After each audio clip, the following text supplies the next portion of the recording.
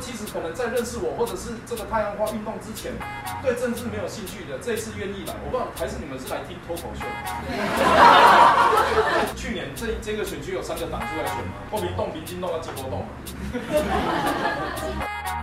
你可以想象，你看你穿时代力量超帅的，超帅的吧？年轻人都会投给他吧？出门就送消波块钥匙圈，我都想投给他的。你如果请到不好的人出去，还会帮你调票。你别忘了。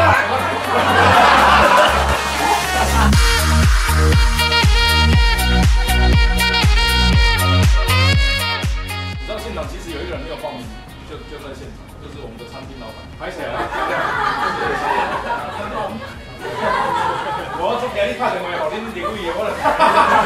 我你家，你这边。我常说，恐惧来自于无知与未知。就是说，有有件事情，你如果会害怕，原因一定是你不知道后果会发生什么事。比如说，我的对手他的家族是必然的存在，你把他消灭了，还是会有人其他人起来做这件事情。但是我们对他的不信任是在于说，那你专心做那件事情，你不一定要来参与政治嘛。OK，所以在这个前提之下，你就不会有生命安全的危险。我没有要破坏你的既得利益，没有。可是我不能让你去担任这个中央立法委员职务，因为不适合。我的对手上一次提过最有名的法案是什么？你们有印象吗？中国人可以用台湾健保，对，就是中国人可以用台湾健保，然后你就会觉得这个很奇怪嘛，这个是我们的立法委员该提的事情吗？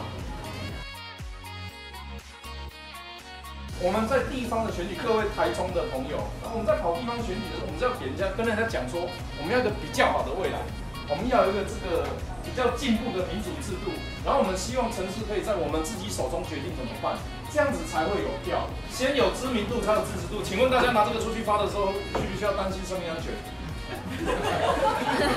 不用吧？可是哦，哎、这个我还有特别拿去榕树下。然后问那个在那边泡茶的阿伯说：“啊，这你你敢看有？”伊讲我知，这应该是要出来选举的。没有啦，因为这有选区嘛，啊，都，这样子就好了嘛。所以你看，你你不觉得拿这个出去就是很开心的事情？就是这个人我认识，但是我要假装不认识啊，然后问大家有没有看过他这样子，这个就很好玩啊，对不对？很大很开心的就是第一选区很大，所以我们的规模一定要大，我们要找三百到五百个志工。那第一次你就觉得神经病，这谁要谁要跟你去上街头干嘛？可是实际上，各位哦，给那个看到你们来，我觉得第一场有这样子的规模，而且只是纯网路，你们都是自己我不知道头撞到跑过来，所以先给自己一个掌声，谢谢你们。我们这一场选战，除了好大好开心之外，我们还把它叫做用脑发大财。就发大财不用脑是就是躺在家里等钱从天上掉下来，那个不会发生。我们要什么样用脑发大财？如果它的概念是，你的每一个动作都是你思考过的，即便你今天只是塞信箱，你都思考过我怎么走路会比较顺。比如说，只是在夜市发卫生纸，你都会去研究说，我们今天这一组有四个人，我们应该要怎么样封锁他的动线，然后我要怎么样避免他走进去之后让他拿来乱丢。这些东西就是因为你想过才拿出来做，它就一定会跟以前不一样。所以很大很开心，然后用脑发大财，这样子我们这次的选战，只要把事情做完就一定会成功。